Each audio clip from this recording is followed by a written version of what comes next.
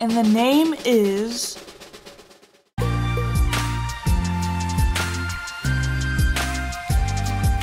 For one and a half years, my game has gone unnamed. And even though the latest devlog did well, I feel that the name has a big impact on the itch.io page performance.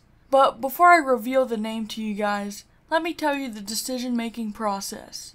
When you download the game, you will probably see a folder called info.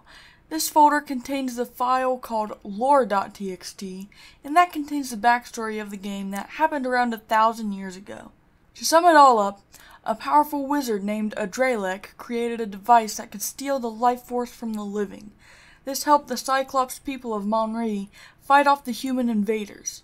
Adralek was betrayed by the Mounri Council of Chiefs because they didn't like the dark magic he was using. Adralek and his followers marched on the council and killed them all, and ruled Mounri for a century.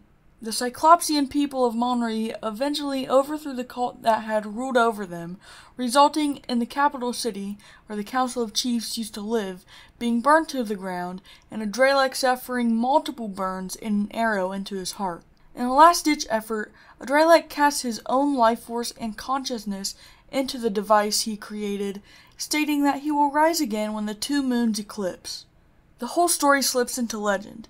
Adralek's device becomes known as the Artifact, and his followers grow and are known as the Adratic Cult.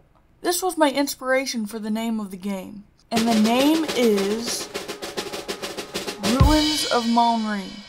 Go check out the revamped itch.io page. The link is in the description and is the same one I plastered all over the videos about the prototype release.